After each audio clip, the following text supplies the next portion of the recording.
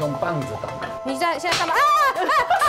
客家风味的北方烙饼，做么嘅唔单止好食，还食都像一内法。用面滚圆的客家血汁鱼，唔单止系一种美食，还系辽宁辽宁嘅一种修行。六月二十七按部就班，请大家老韩人，却还用料理来延续清凉嘅客家乡情。